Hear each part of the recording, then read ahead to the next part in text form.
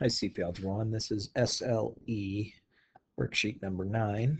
So it looks like we have to distribute over parentheses first. So remember, distributes like multiplication. So negative 3 times y is negative 3y.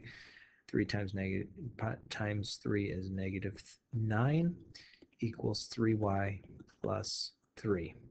So we need now start moving things back and forth. So perhaps I would add 3y both, both sides those cancel, so I get negative 9 equals 6y plus 3. Subtract 3 from both sides. So I get uh, 6y equals negative 12. Divide each side by 6. So we find that y equals negative 2.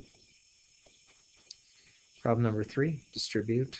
So I'm going to get 3x plus 3 minus 5 equals 3x minus 2. I'm going to combine those like terms together. So 3 minus 5 is negative 2.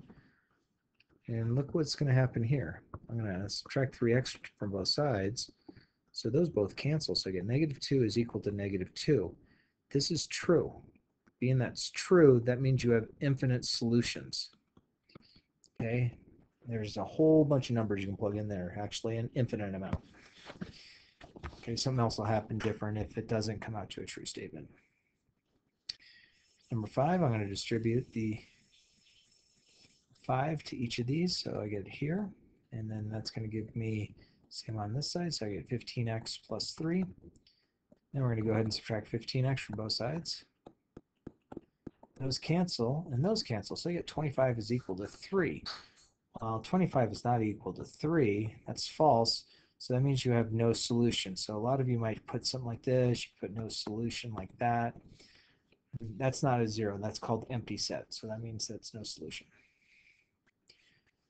All right, problem number seven. I'm going to distribute the 2 over the parentheses, so I get 4y equals 2y minus 10. Subtract 2y, subtract 2y. And that's going to give me 2y is equal to negative 10 divided by 2 divided by 2, so y equals negative 5. Number 9, we're going to distribute the negative 2 over these parentheses first, so I get negative 4x minus 6. Distribute the negative 4 over these parentheses. Those are like terms, so I'm going to go ahead and combine them. Go ahead and start doing stuff. There's negative 4, so I'm going to add 4x to both sides. Those cancel, those cancel, so negative 6 equals negative 6. So that means, yeah, that's true. So that's infinite solutions. Number 11, distribute the 2. Uh, there's a 1 out front here, so you distribute that over. So I get 2x minus 6 equals x minus 1 plus 7. Combine those like terms. And then I'm going to go ahead and subtract x. So I'm going to get x minus 6 equals 6. Add 6 to both sides. Squeeze it in there. x equals 12.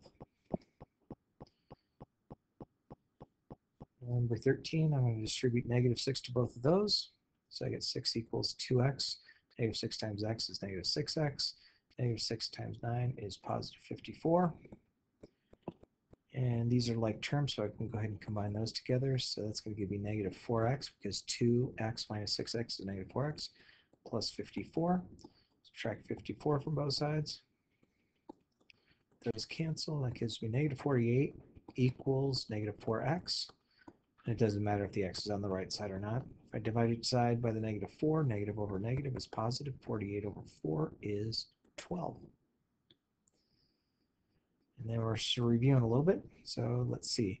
I have b squared. Well, my b value is going to be negative 2. So I'm going to put that in parentheses. Minus 4 times 1 times 2. Negative 2 times negative 2, or negative 2 squared, is 4 minus 8. That gives me negative 4 for an answer. Number 17. I have the big square root. My a value is 1, so I have 1 squared. My b value is negative 2 and my C value is 2. And I just keep it consistent. I put the 1 in parentheses as well. 1 squared is 1. Negative 2 squared is 4. 2 squared is 4. Add those up, so I get square root of 9, and square root of 9 is 3. And that's all we have.